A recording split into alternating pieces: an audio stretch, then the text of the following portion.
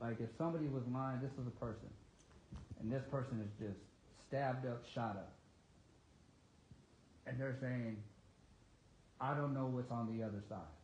Mm-hmm. You know, I don't know what's on the other side. I don't know if it's, I don't know if we just drift off and there's no afterlife. I don't know if there is a hell.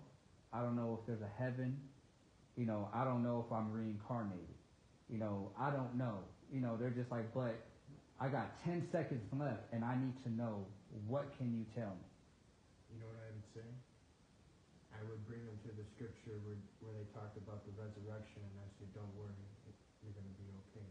You're going to be If resurrected." if they even say, I don't know, I don't have any faith at all, you wouldn't point them to Jesus? You're asking me. I have ten seconds. This guy is laying there,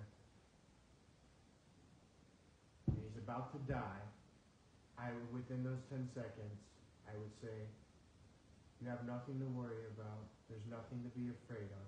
I promise you, Jehovah and Jesus love you, and within a blink of an eye, all this is going to change." But do they love and have faith in him? doesn't matter to that this is where this is where what i'm saying is i don't have the right to judge him and I, and if if Yeah.